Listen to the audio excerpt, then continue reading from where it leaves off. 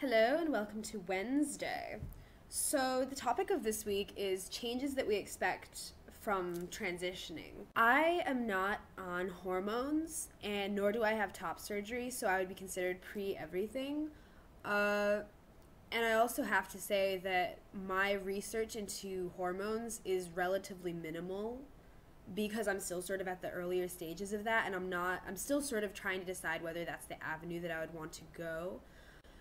I would say that certainly one of my biggest expectations as far as transitioning is concerned is for people to treat me differently. I think in our society, men and women are treated very differently, especially people who are more androgynous, because that's confusing to people. And so they don't know how to treat you, and so they sort of treat you more awkwardly. I've noticed that since even I just began binding and uh, referring to myself with male pronouns and a male name. I would expect that to continue, especially if I did get actual top surgery and were to go out on the beach without a shirt on.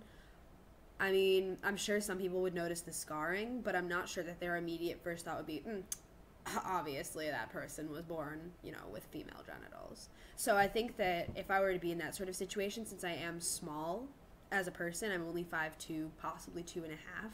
Living as a guy, I kind of do experience this, and I would continue to expect to experience having to prove myself like as a man you know what i'm saying? Because i think that short men get treated differently even again than taller men do. If you're unusually short as a guy i think that people you know you get you hear like wimp and like weak and you know stuff like that. So, you know one of my uh, mates in my german class you know he jokes about me about my height a lot but he's not unusually tall or unusually short and so he always ribs on me about being really short. So i think with transitioning that sort of becomes an interesting part of my life because as a girl five two and a half is like it's it's relatively on the short side of things but i think the average for women is five three or something like that five three five four. So that's not really that short.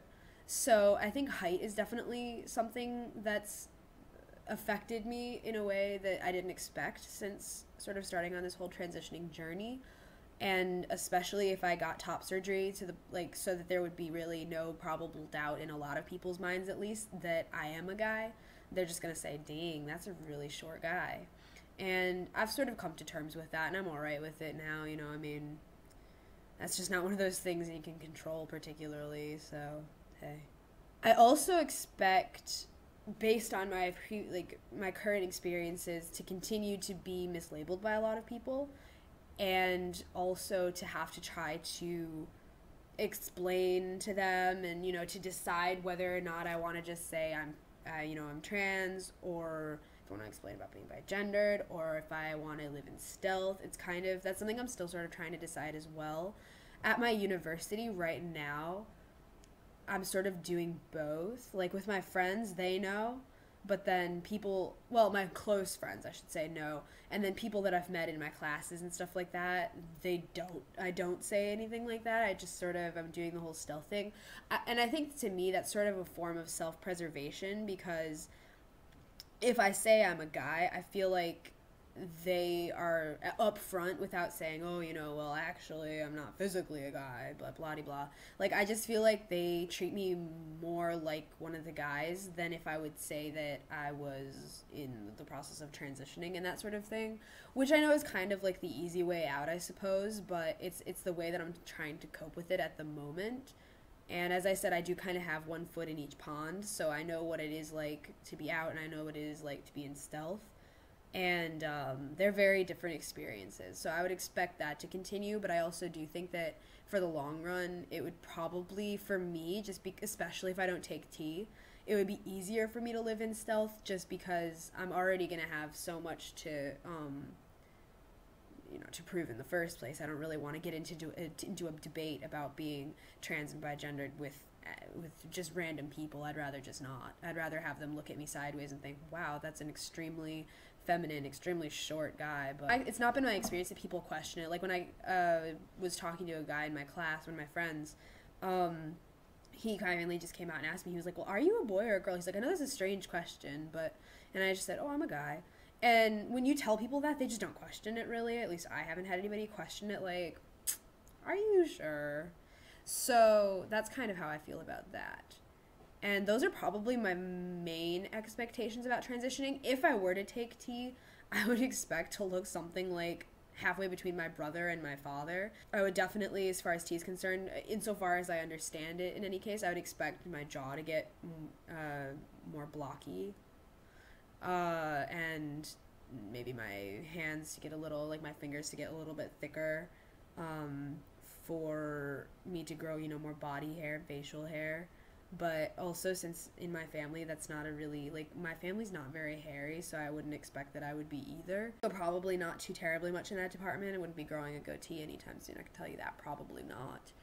I would just i guess i would just expect overall to have my facial features become the more masculine version of what they are now. Although i don't i don't have the expectation that if i even took even if i took hormones that i would ever look extremely like masculine particularly because i'm coming from such a feminine base. Um oh, I, oh no so my voice i'd expect that to change as well.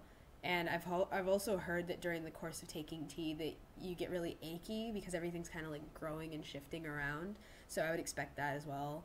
And for obviously my emotional uh, levels to be all over the place. So there's that. And also i think i've heard people mention on the uh, trans tag on Tumblr talking about going through bouts of extreme dysphoria because of the drugs. Uh, even though they are transitioning into looking more masculine, you know, it doesn't always go as fast as you want it to, and so of course, you know, you're gonna feel really down and wonder like, is it even working? Is it even blah blah blah? You know, that sort of thing, questioning yourself. That's basically my main expectations. I would expect to have to try to prove myself uh, and my masculinity because of my height and probably my features. And uh, I also have the expectation that I'd probably have to live in stealth if I don't take hormones. And um, I also have the expectations about certain physical changes that would occur if I did take T. And uh, I am also aware of the repercussions of, you know, taking, doing top surgery and taking hormones and that sort of thing. But I do think for me personally, it is much more likely that I will get top surgery than take hormones. I know of at least a couple of trans guys who don't take T for various reasons. One of them's a singer.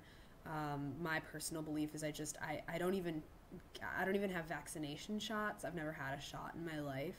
And the idea of putting something that unnatural into my body just kind of weirds me out a little bit. Even if it would make me look closer to how I wish I looked, it, it wouldn't be natural. And so personally, I'm just not for doing that kind of a modification right now. Maybe I'll change my opinion in the next few years, but since I've finally just come to grips with the way I look right now, I think I need to sort of live with that for a while before I would even consider doing something like T.